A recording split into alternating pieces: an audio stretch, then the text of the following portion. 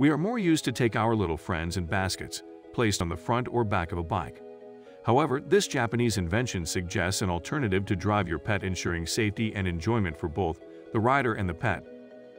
Mopet is an electric scooter that gives you the benefit to ride comfortably with your pet. Mopet Compact Scooter is suitable for puppy, older dogs, or simply the lazy ones. The pet's seat is unified into the vehicle's body right under the driver's saddle. Next to the seating, there is a small opening that allows your pet buddies to free their heads and look around. Mopet is suitable for a walk on a sunny day when the asphalt is scorching.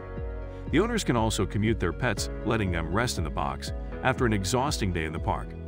Furthermore, the scooter is also proper for a long-distance route, as it is equipped with a large-capacity battery that can travel up to 60 kilometers. The foldable motorcycle weighs around 25 kilos and can effortlessly be stored in the trunk of a car. The vehicle is outfitted with safety parts, so it can be driven on public roads. High brightness LED achieves high visibility in the dark, but also during daytime.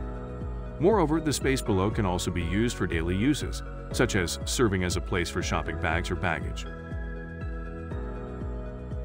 For more information about the scooter, you can visit the link in the description below. Don't forget to subscribe. Thank you for watching.